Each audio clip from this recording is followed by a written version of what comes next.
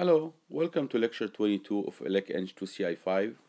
In this lecture, I will go over second order circuits. Um, these circuits are the circuits that contain two energy storage elements uh, as a capacitor and inductor. Um, and we'll see how we can drive a solution for this uh, for these circuits and impose initial conditions and uh, you'll see during that that there is some similarity between the analysis of second order circuits and then analysis of first order circuits. Okay so let's uh, let's start do that and uh, we'll see that in the next slide that the, the equation governing these second order circuits is a second order differential equation. Okay so as we indicated in the previous slide um, a second order circuit is a circuit that has two energy storage elements uh, two capacitors two inductors one inductor one capacitor um, we can show that the current and the voltage um, in the, yeah, maybe the current through an inductor or the voltage across the capacitor the equation governing these quantities which are and these are all functions of time are all second order differential equations. Um, and uh, these circuits include what we call LC series resonance circuits very important circuit in electrical engineering and uh, LC parallel resonance circuits so when you put a capacitor and inductor in parallel, this is also used a lot in oscillators and um, in filters and so on. Okay, the general formula we're gonna take a look at is this one here. Uh, d squared x of t by dt squared plus a1 dx by dt plus a2 x of t is equal to f of t. This is an equation, a second order differential equation. x of t here can represent the current through an inductor or the voltage across a capacitor and our target is to uh, use the mathematical work that was done this area to find the solution for a given circuit. So if I give you a circuit, second order circuit, and then I ask you find for me the current and the voltage, you should be able to do that. This differential equation has two solutions like all ordinary differential equations. It has one solution when the, the input is equal to zero, and this solution is due to the energy stored in the system at time zero. And the second one, when you put some excitation here, this is called the particular integral solution. So we have two solutions. The homogeneous solution when you have 0 here, f of t is equal to 0. And this is a solution due to the energy stored in the system at time 0. And you have the particular integral solution when f of t is, has its actual excitation value. Okay, the derivation I'm giving here has been covered in previous mathematics courses. I will just go over it very briefly. Uh, this is a homogeneous equation, so you got you got rid of the excitation that you have in the circuit, and uh, this this one here can be put in this form: d squared x by dt squared plus 2 zeta e uh, omega naught dx by dt plus omega naught squared.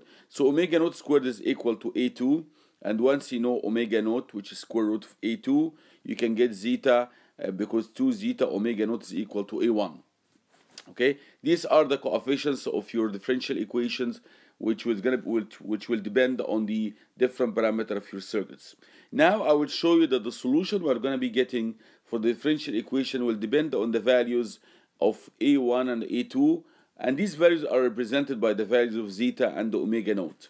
Omega naught is, is, is an angular frequency and zeta is actually a damping factor In the way we learned in differential equations, they ask you to assume a solution of the form ke to the st. You substitute in the differential equation. When you differentiate twice e to the power st, you get s squared e to the power st. When you differentiate it once, you get s e to the power st, e to the est, s multiplied by e to the, to the power st. And uh, here, this is a term. So this is the same differential equation we had before d squared x by dt squared plus 2 zeta omega naught dx by dt plus omega naught squared x of t is equal to 0. But we assume the x of t to have the form k multiplying by e to the power st. And the s is, is the natural frequency. Okay? Now, after you substitute in the differential equation, every time you differentiate relative to multiply by s, this is what you end up having. You can get rid of k because k is non-zero okay get rid of e to the power st as well you obtain this um, uh, second order uh, equation algebraic equation here in s squared So you can solve for s. You can you have here two solutions, um, and uh, this this will be your first solution. This will be your second solution.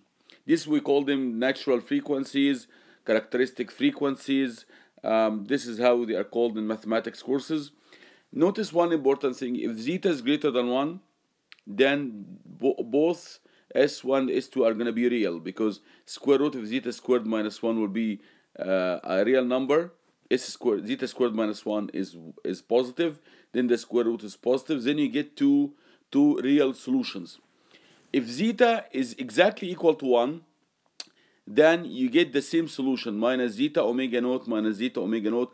We call this the critically damped case if zeta is zeta is greater than 1 then you get two different roots.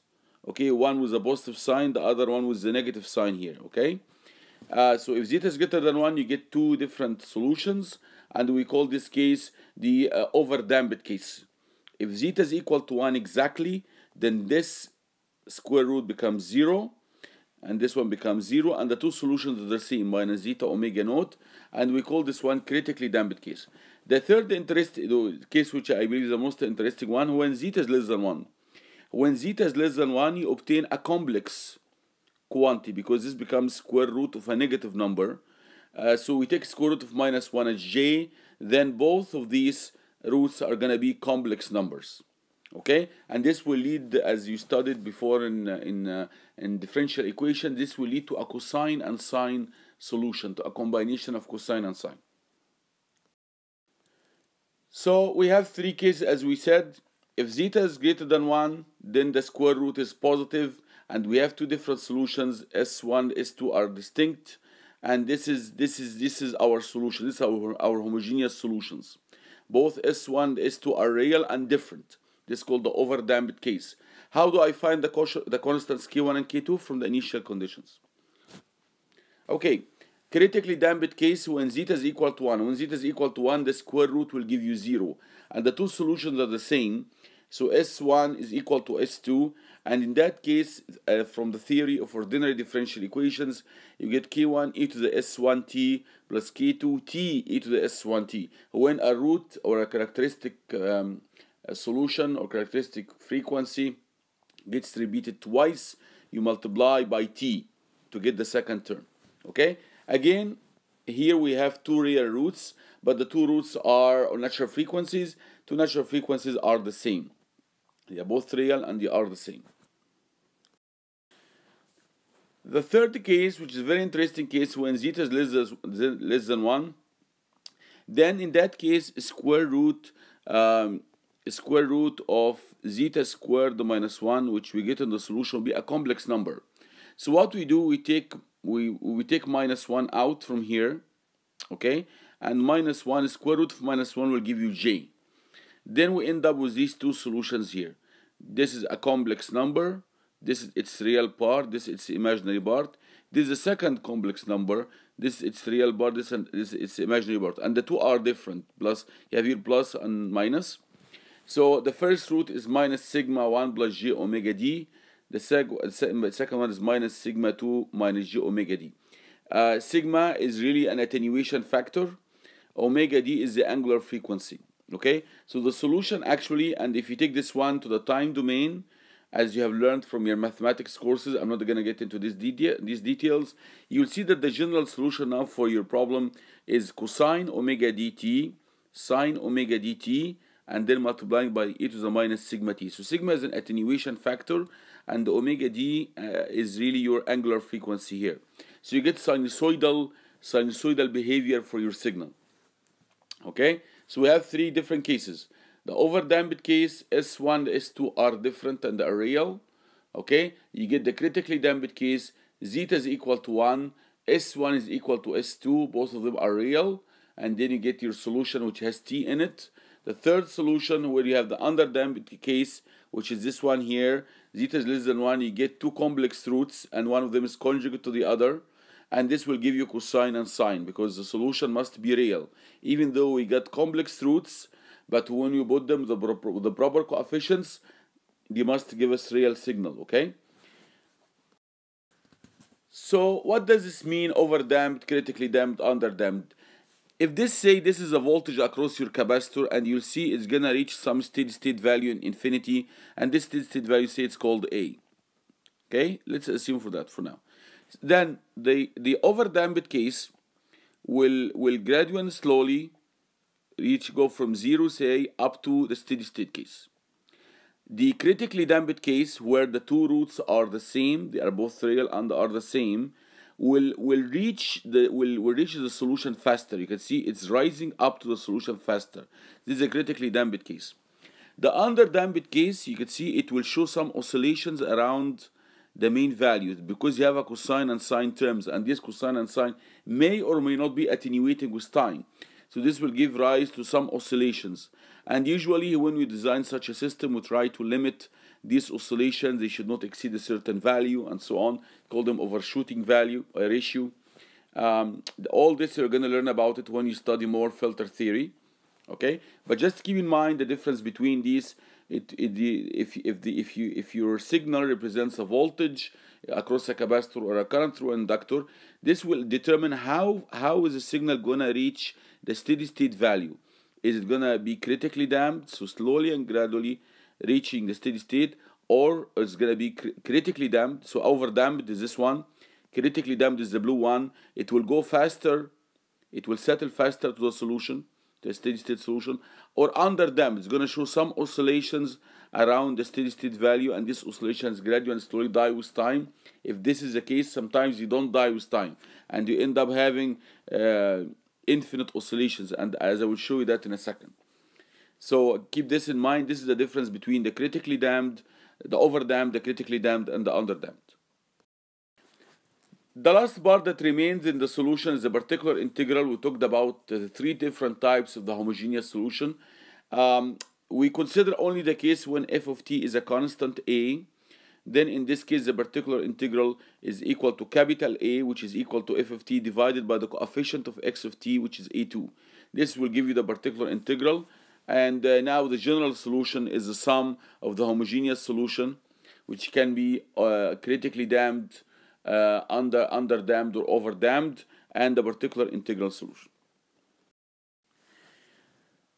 Okay, let's take a look at an example. We have here a circuit. We have an inductor and a capacitor in series, and we close the switch at time zero. Would like to find an expression for Vc of t for any time, assuming that the capacitor had no zero voltage in the beginning. Now, because the capacitor had zero voltage in the beginning, so we know that Vc of zero is equal to zero. One interesting thing as well, because the inductor, this circuit was open, then there was no circuit in the beginning, then IL of 0 was 0. The current flowing through the inductor was 0 at time 0. But remember, the current flowing the inductor, the current flowing through the inductor is the same as the current flowing through the capacitor. These two are in series. Then this means that the capacitor current at 0 must also be equal to 0. Okay, it's a very important thing to notice because the inductor current cannot change instantaneously. Then IL of 0 minus is 0 which is going to be equal as well to IL of 0 plus. But IL the inductor current immediately after the switch was closed is still equal to the capacitor current. Then the capacitor current must be 0 so we know something very interesting that this circuit forces the capacitor current to be equal to 0 in the beginning and forces its voltage as well to be equal to 0 in the beginning. Okay? So now we're going to write the second order equation governing the capacitor voltage and then we'll solve it to find the homogeneous solution the particular integral solution and then we find the, the, all the constant coefficients. Okay so we have here one one loop. This is simply one loop. The the governing equation can obtained by writing kvl 12 volts is equal to the voltage drop across the resistor plus the voltage drop across the inductor plus the voltage drop across the capacitor okay? The voltage drop here is equal to IC multiplying R. The voltage drop across the inductor is equal to L DIL by dt but remember the inductor current is the same as the capacitor current. The current is flowing this way okay? The current is flowing this way. This is IL but this is the same as IC because they are in series okay? So we can simply say here the inductor current the inductor voltage VL is equal dl dil by dt but il is equal to ic and then the last term we're going to add is vc of t now we get rid of ic of t and replace it we know that the capacitor current is equal to C dVc by dt. So you differentiate one more time, you get second order derivative relative to t. Replace IC here, but C dVc by dt, you obtain first order derivative. So now this is our second equation, second order equation. We, re we reorganize it in the same form we had. We have to divide by RC.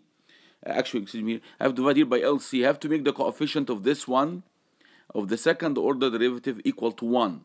Because this is the form that we had. We had d squared x by dt squared plus a a1 dx by dt plus a2 x of t is equal to f of t. So I made here this coefficient of 1 by dividing both sides both sides by LC. So when you do that, this is what you'll end up having. Okay, this is what you end up having. So I divide both, si both sides by LC. This becomes d squared VC by dt squared here. If you divide this one by LC, you get R over L. Okay, if you divide this one by LC, you get 1 over LC. If you divide 12 by LC, you get 12 over LC. So, this is how our system looks like. Remember, this is the same form that we started with. d squared x by dt squared plus a1 multiplying dx by dt plus a2 multiplying x of t is equal to f of t. And f of t here is a constant, not the function of time. This is the equation that we started with. And we know the solution. This term, we call this term omega naught squared. Okay. We call this term here 2 zeta omega naught. We call this term here capital A. We call this coefficient as well as well A2. So the, the particular integral solution will be capital A divided by this term. So 12 over LC divided by 1 over LC will give us 12.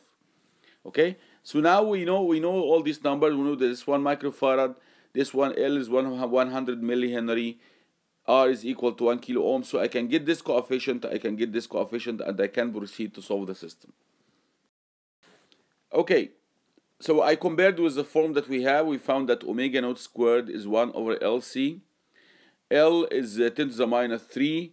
C is 10 to the minus, uh, 6 here. So if you uh, if you take the square root, you get that uh, omega naught is 3.16 10 to the power 3 and this is radian per second. Also we know that 2 zeta omega naught is equal to R over L. R is 1 kilo ohm. Actually L here is 0.1. It's 0.1 only. Okay, so it's it's 10 to the minus 1. It's not 10 to the, 10 to the minus 3. It's 0.1 Henry. Um, so if you divide these two, you get 10 to the power 4. And you know what's omega naught is this number, so I can substitute, I get zeta 1.58. Because zeta is greater than 1, this means that I have an overdamped case. I will have two natural frequencies that are both real and are different. Okay? This is the first natural frequency, minus zeta omega naught plus omega naught square root zeta squared minus 1. This from the theory we derive together. We know omega naught, it is this number. We know zeta, it's 1.58. If you calculate this one, you get minus 1127. This is the first natural frequency. Second natural frequency is obtained with the negative sign here. Again, substitute for zeta, substitute for omega naught to simplify, you get minus 8873. So this is our solution now.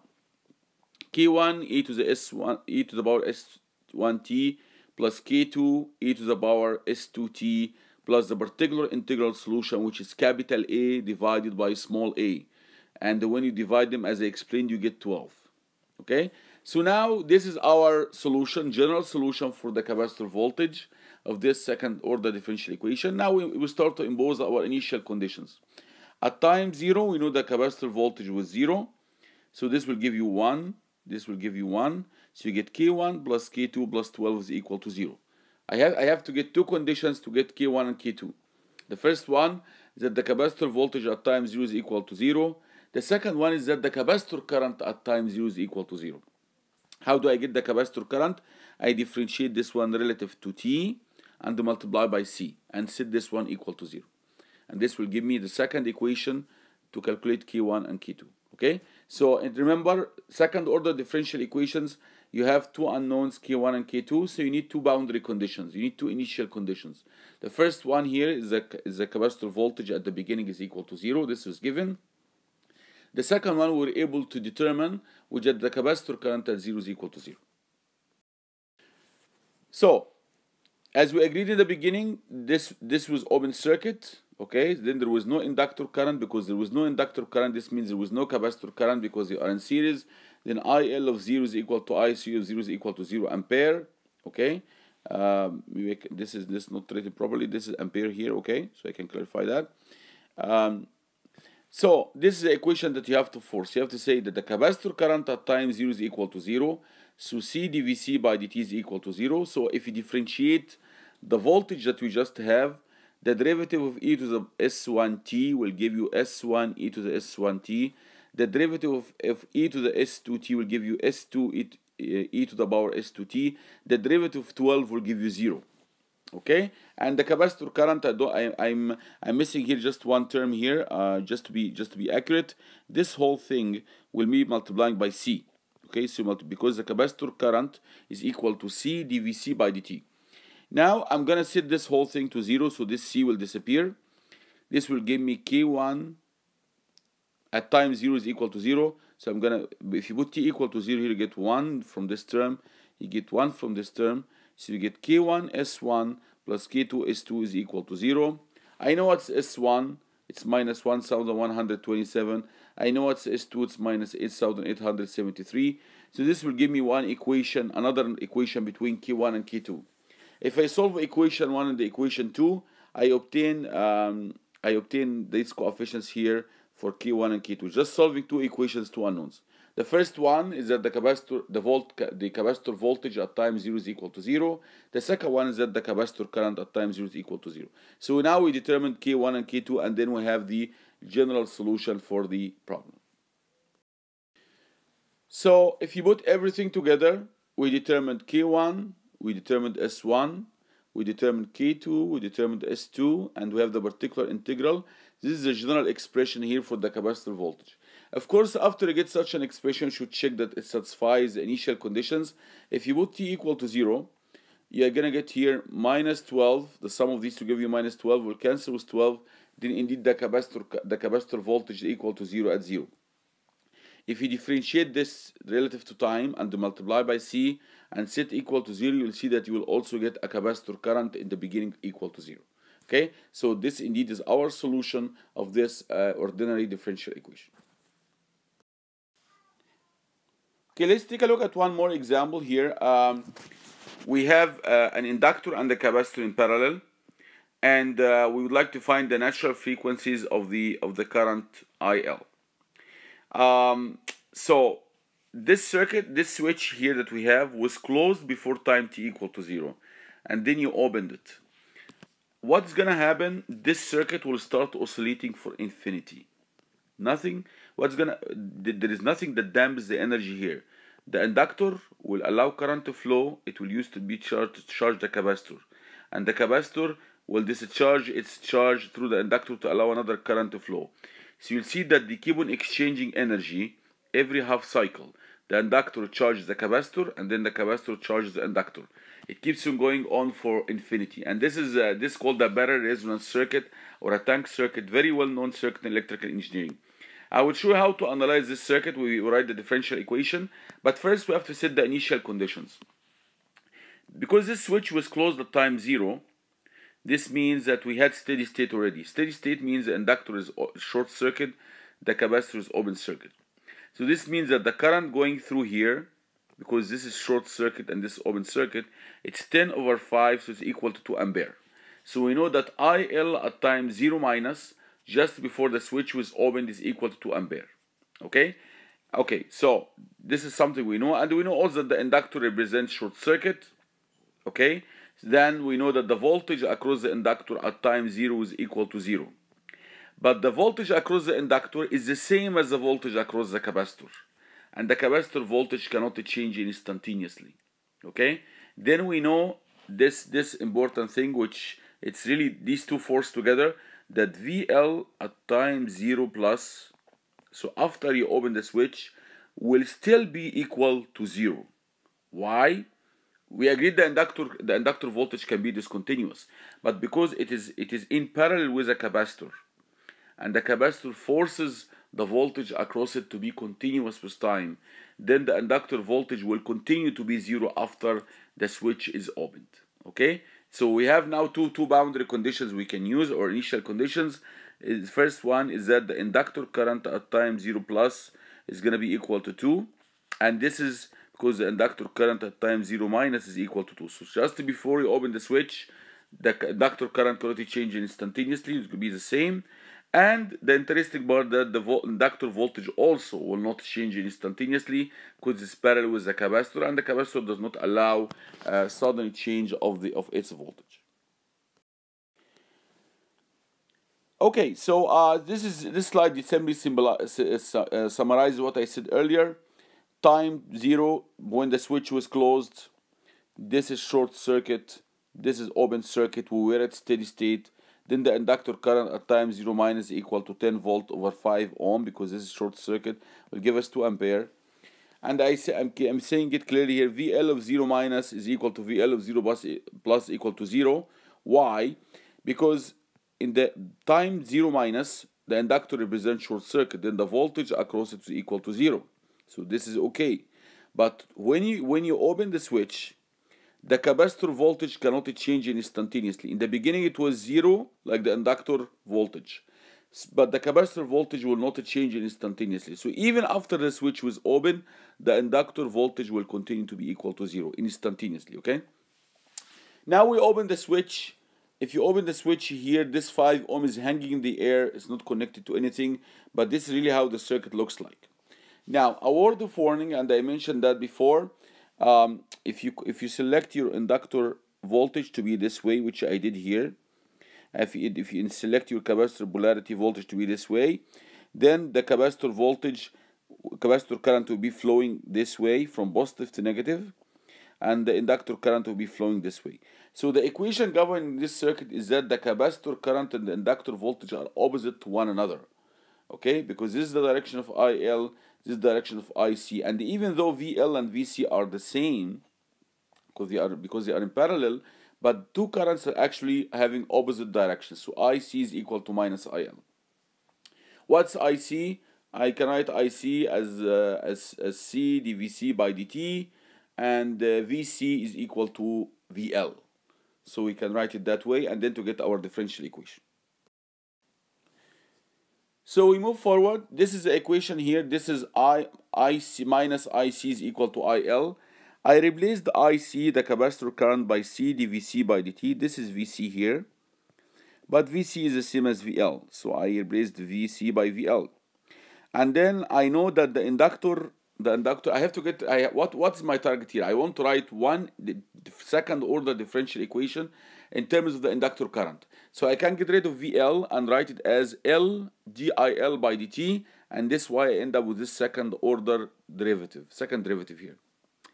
This this was multiplying, um, uh, so here you get L d squared by dt and then I move that one, this one to the other side and then this becomes positive positive here.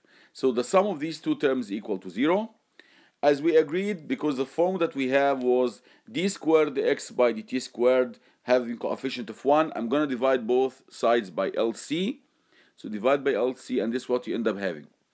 So this term here is what we call the omega naught squared. The term this is d squared x of t by dt squared plus 2 zeta naught omega naught dx by dt which is not here because the first order derivative is 0 plus omega naught squared x of t is equal to f of t. This is omega naught squared. So omega naught squared is 1 over LC or omega naught is 1 over squared LC. I have L and C. If you multiply them, you get 10 to the minus 5. If you take the square root and then if you, uh, you take the inverse, you get 316 radian per second. Now, because the first order derivative is missing here, we don't have dIL by dt, this means that 2 zeta omega naught, which is the coefficient of the first order derivative, is equal to 0. But omega naught is not equal to 0. This means that zeta naught is, zeta is equal to 0. Okay? I call it here zeta naught, but it's actually zeta. It's, it's the parameter zeta, this damping coefficient that we talked about. So we have a second order differential equation. We try to find the two roots. Because zeta is equal to 0, we have now uh, an underdamped case. So this term is 0 you have two. uh, okay. So what we have here uh, sorry zeta actually this term is still there. This is zeta is equal to zero. This will give me square root of minus one. Square root of minus 1 is j is what we call j. So this will give me minus zeta omega naught plus or minus j omega naught. But zeta is 0 then my solutions are I get two complex solutions. One is conjugate to the other which is plus or minus j omega naught. So remember this this square root here gave us j because j is the square root of minus 1 as you learned from your previous math courses. And because zeta is 0 the real part disappears. So this is the equation that we have. So we have only plus or minus j omega d. And we know if you have something like this then our solution is e to the minus sigma t multiplying k1 cosine omega dt omega dt plus k2 sine omega dt. But but sigma is zero. There is no zeta. Zeta is zero then sigma is zero. Then uh, this is the solution that we have. How to get the coefficients k1 and k2 we impose the two two conditions.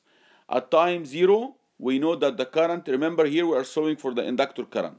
At time zero the inductor current was 2 so if we put here t equal to 0 this will cancel this will give me 1 cosine 0 is equal to 1 then you get 2 is equal to k1 then I solve it for k1 also we know that at time 0 the inductor voltage is 0 then VL which is equal to L dIL by dt is equal to the derivative of this term relative to t and then you multiply it with L.